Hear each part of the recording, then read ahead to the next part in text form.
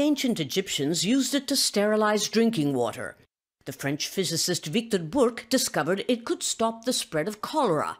Indeed, it's well known that the antimicrobial properties of copper kill bacteria and viruses.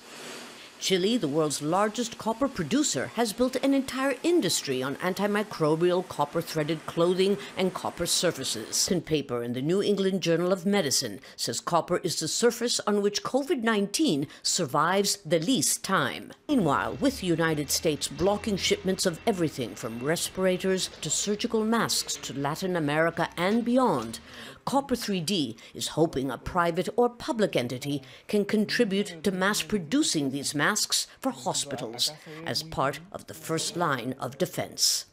Lucia Newman, Al Jazeera, Santiago. As COVID 19 continues to spread in South Korea and in other parts of the around the world, copper is coming under the spotlight as a material that can potentially kill the virus.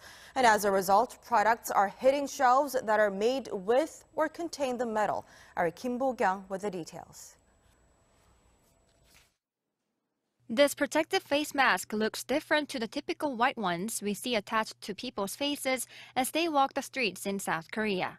Special fiber combined with copper and iron covers the mask surface, making it suitable to protect wearers against certain viruses. According to Jeonbuk National University and the company that invented this blue mask, 99.8% of a virus died within one minute of coming into contact with the mask and had disappeared within 10 minutes. We figure out how fast the virus dies with this fabric, and we prove it can survive past 60 seconds. Another face mask made with string coated with copper has gone viral, and sales have skyrocketed in South Korea. Protective film made with copper that can cover elevator buttons and air purifiers with copper filters are also popular.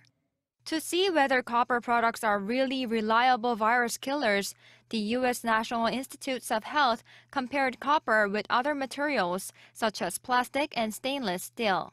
It found COVID 19 survived for 72 hours on plastic and 48 hours on stainless steel. However, it was dead after just 4 hours on copper. Copper is reportedly effective in killing around 20 types of virus and theoretically effective in killing all viruses. Experts say copper itself is effective in killing viruses and bacteria. Yet, watchers say consumers need to see how effective each product made with copper is before they use them to protect themselves. Kim Bo-kyung, Arirang News.